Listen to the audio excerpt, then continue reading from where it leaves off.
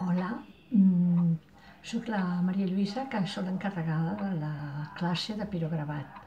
A la classe nostra fem en fusta eh, un dibuix i llavors ho cremem amb aquesta eina que va elèctrica. I llavors doncs, podem fer quadros, capses, com aquesta, com aquesta,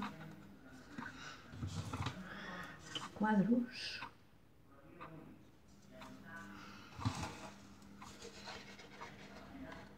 maceteros i tot de coses de fusta, tot de coses de fusta. Ho decorem i llavors pues, ho dibuixem amb, amb la fusta o cartró o suro i llavors ho cremem amb l'eina aquesta.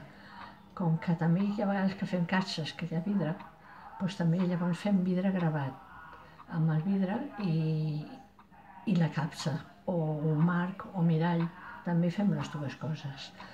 Uh, si us interessa, estem el dimecres a la tarda a Tasso. Em sembla que ja ho he explicat tot més o menys.